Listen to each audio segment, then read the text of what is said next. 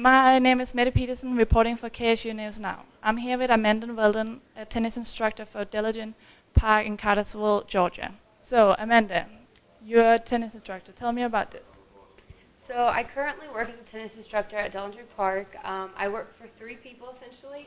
I'm a private instructor, so I work for our rec classes for Dellinger. We host rec classes from ages 3 to 11. And then through the park, our tennis director also has an academy, and I work for him as well. Cool. So, what is the age groups that you coach at? Um, as a private instructor, I can coach anyone. So we try to start them around three, but I'm, I haven't had anyone younger than that. For our rec classes, we start from three to 11. And then for our academy, six to 16 or 18.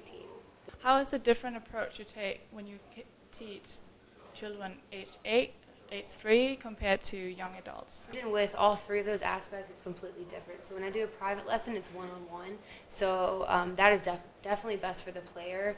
Um, I can strategically set the entire lesson plan for just that one individual and talk to them and coach them about every aspect of their playing.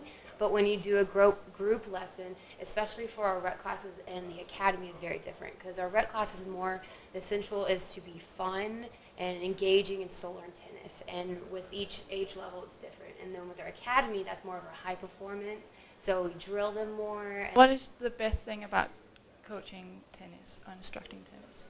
I think the best part is when you see the kids later on, you were, were such a vital instrument into their skills. Even without tennis, it's just them personally, and because you're still a role model for them. And also for any other sports, you're still working on their coordination, you do that overall. So just being a part of their life, especially when they're older, they'll remember you, and you're a part of making them grow. So that was all. I'm Mette Pedersen from KSU News Now. Thank you.